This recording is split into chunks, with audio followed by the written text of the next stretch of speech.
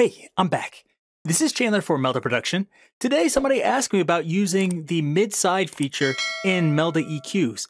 And it's actually very easy. So today I'm going to show you how you can do that and perhaps give you some ideas of things you might want to use it for. So I have this song, I released this a few months ago. Actually, it's called Marewell. I'll let you hear just a little bit of it.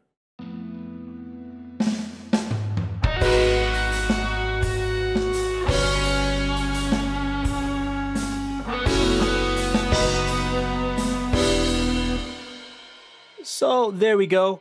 What we want to do here is let's first add an EQ. You can use almost any Melda EQ. I'll give you some examples or uh, some exceptions later. But let's use M Auto Dynamic EQ first.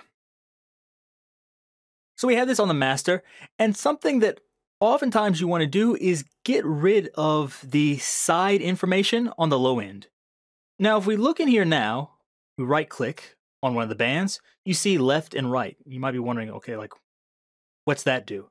So let's set this to, let's say, a high pass filter here. I'll turn down the slope here. So we should have a normal high pass filter.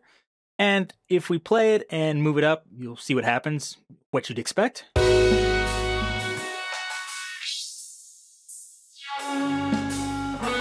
It's just a filter. Now, let's say we take the left side. Click on left after we right click, and let's try it now.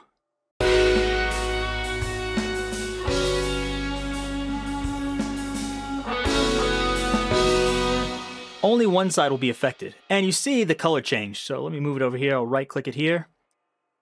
If I click on the right one, changes to red. So switch sides like that. And by default, it's on left and right. So it'll do both channels. Now that might be useful to you, uh, but you're probably like, get to the mid side. Okay, I'll do that. So here in the toolbar, you see we have lots of settings. Here's the oversampling, but right below the oversampling, we have this left and right. This is default. But we can actually change this. So now if we put on left, it's just going to process the left channel like this. So even though it looked like we had it set to left and right, it's only going to process the left no matter what we do. Same thing with right, and same thing with mid here, like this.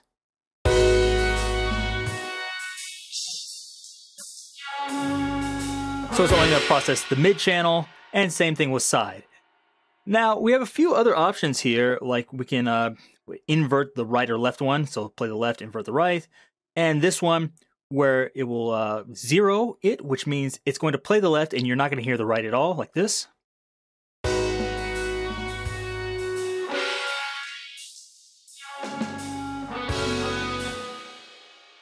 Now, normally you wouldn't use this, but this might be good for checking certain things. And certainly I think it's good here where we can use this mid sides or mid zero side or just hear the sides and not hear any of the mid content like this.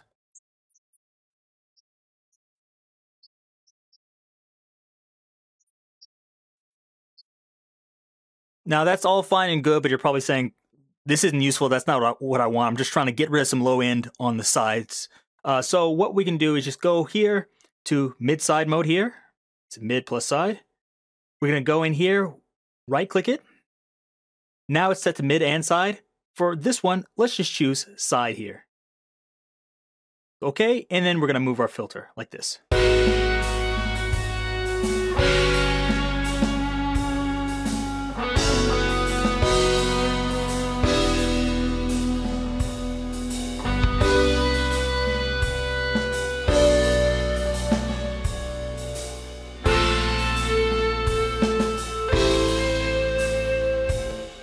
So I moved it up fairly high there, and I think you can hear a difference. It sounds a little bit more controlled.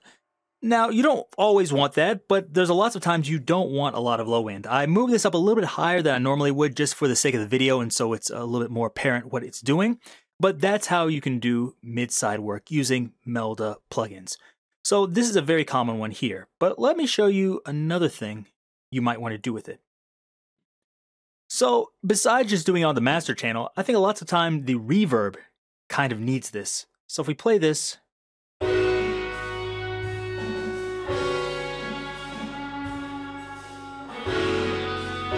So this isn't too bad.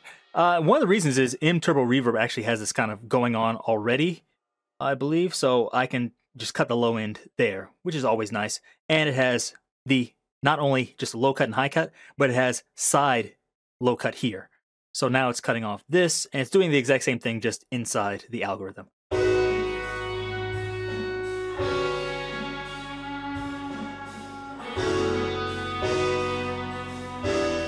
So now I turn that all the way down. I'm going to turn this down too. So imagine you're just using some other uh, reverb or something and you don't have this. So now we have much more low end like this.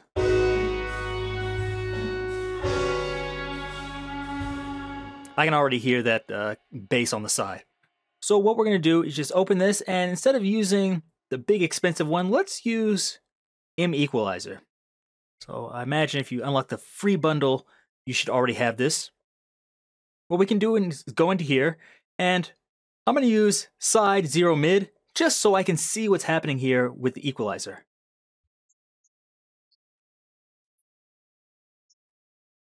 Now what I'm going to do is just right click this and I'll choose high pass filter, maybe, was it 24 decibels per octave, and just move this up.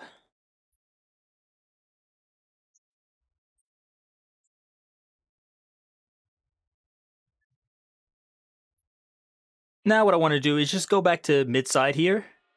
And then I'm going to go in here and make sure this is just cutting off the sides like this.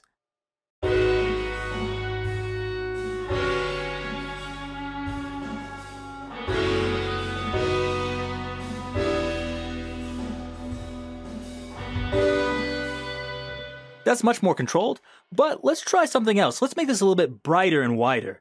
So we got rid of some of the low end, but let's add some high end here. So I'm to use this. This is a shelf filter here. And now it's doing the mid and the side. But let's just try the side here. Let's listen to this and move this up. Like this.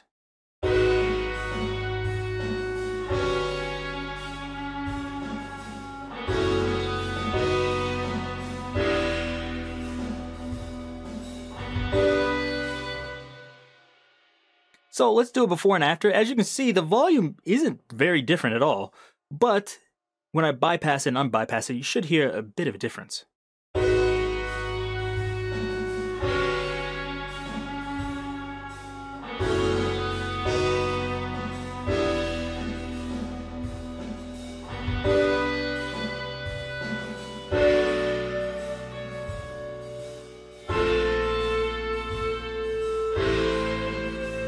I think that's definitely noticeable.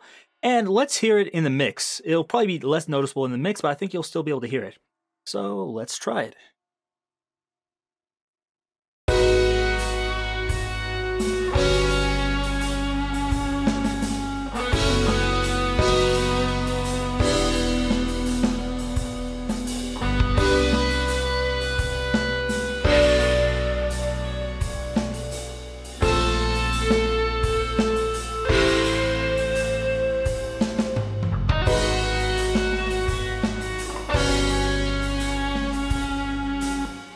So this provides some subtle widening and gets rid of some of the mud. And it's not really affecting too much of your sound because you're just using it on the reverb bus.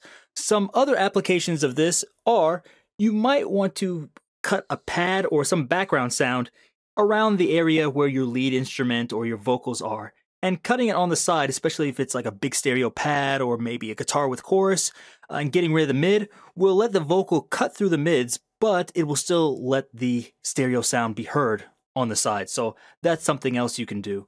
So using this, uh, especially with effects, can be very, very nice. Even sometimes cutting out the mids of some like reverb or something, so it doesn't get in the way of your vocals, bass, uh, drums, etc. Can be nice. So hopefully that answered your question on how to use this. Uh, one thing I should mention here is there are two EQs that this won't work as well with, and those two are uh, let's see, M Freeform Equalizer. And the reason that is, is although we have all these different options here, here there's here there's no point, so I can't choose mid, mid or side here. Even if I set this to mid side mode, I don't really have much control here. So that's one where you're like, okay, that's probably not the best for doing this. Although you can just, you know, EQ one side or just EQ the mids or sides. You can do that if you want. And the other one is M Turbo EQ. And the reason this one might not be as good is because we don't have anything to right click and do anything with here. So I could use this just for the, let's say, sides here, if I just want to process the side amount like this.